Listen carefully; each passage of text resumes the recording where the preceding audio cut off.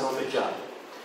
É, no caso, o senhor citou que isso pode acontecer com crianças, né? mas isso se estende para povos que não conhecem a Deus, Não. índios, é a Não. pergunta se dá nesse Não, sentido. absolutamente não.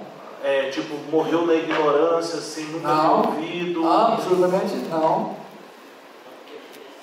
É, lembra, quando Deus, quando você está trabalhando entre os índios do Brasil, do lugar qualquer, eles são gente adulta. Para eles se apropriar de qualquer coisa relativa à salvação, tem que crer.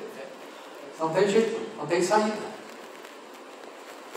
Eu estou falando de gente incapaz de crer. É o caso de crianças e, e de alguns deficientes mentais. Isso não quer dizer que todos os dementes que morrem vão ser salvos, nem todas as crianças que morrem vão ser salvos. Existem teólogos reformados que afirmam a salvação de todas as crianças que morrem. Não é. Tá? Só são salvos os que são eleitos de Deus e nós não sabemos quem são. Não está escrito aqui assim, eleito de Deus. Mesmo entre os há eleitos entre os pagãos que das crianças que morrem, então Sim. É, existem os mais concessivos, Marco, que pensam assim. Eu, É, os mais concessivos que pensam assim. Há vários teólogos reformados que pensam assim. né? Eu não. Eu penso de modo diferente.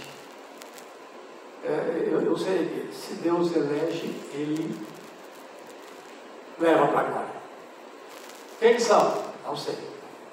Mas é possível uma criança terra, recém-nascida ou intrauterina a glória? É, por causa da obra trinitária. Fé é só para quem vai desfrutar da redenção nesta presente existência. Você não pode esquecer disso. Porque vocês fazerem com que as coisas, que a sua salvação dependa da fé, você vai botar essa turma toda no inferno. E não é assim que as coisas são.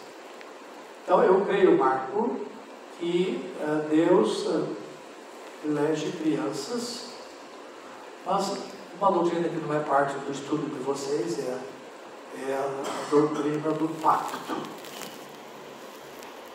Nós cremos que Deus tem feito coisas especiais entre aqueles que são parte do seu povo. Essa é a doutrina reformada e muitos reformados não têm.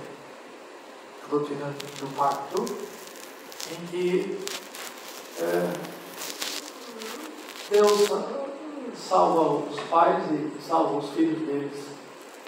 E eu serei o vosso Deus e o Deus da vossa descendência. Isso é uma promessa que atravessa a escritura do Gênesis ao Apocalipse. Então, eu, se um um filhinho meu morresse, eu faria como Davi, enxugaria as lágrimas e disse, olha, você não ri mais a mim, eu vou para você.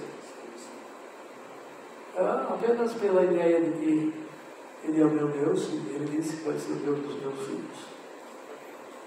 Essa é uma promessa que nós batemos firme. Agora, quem sou eu para dizer que Deus não salva nenhuma criancinha eh, dentre ímpios? Mas não dá para afirmar. Nenhuma coisa, nem outra.